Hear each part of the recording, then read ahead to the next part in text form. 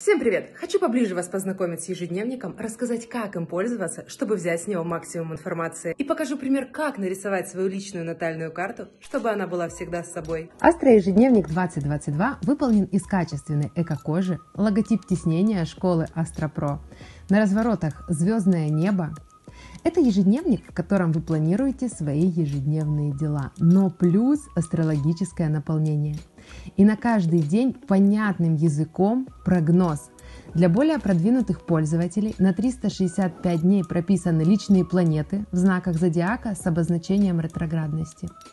В начале ежедневника конструктор натальной карты, куда вы можете вписать свои данные, обязательно покажу как, и пользоваться ежедневником в полном объеме астрологический словарь с обозначением планет и знаков зодиака, две удобные закладочки, информация о всех социальных сетях школы и логотип.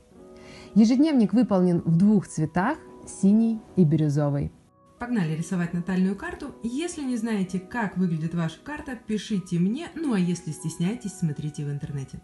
Я срисовала чью-то карту, и даже если не знаете всех этих градусов, аспектов, планет, всех этих обозначений, информация вам это все равно пригодится. Далее, выписываем все аспектные связи, которые есть в карте. Это также вся информация есть в интернете, ну или пишите мне. И когда вы встретите в описании дня аспект, с вашей натальной карты для вас это весьма значимый день. И прогноз и описание дня для вас являются весьма важны. Ну а если хотите узнать информацию более подробно, приходите ко мне на обучение.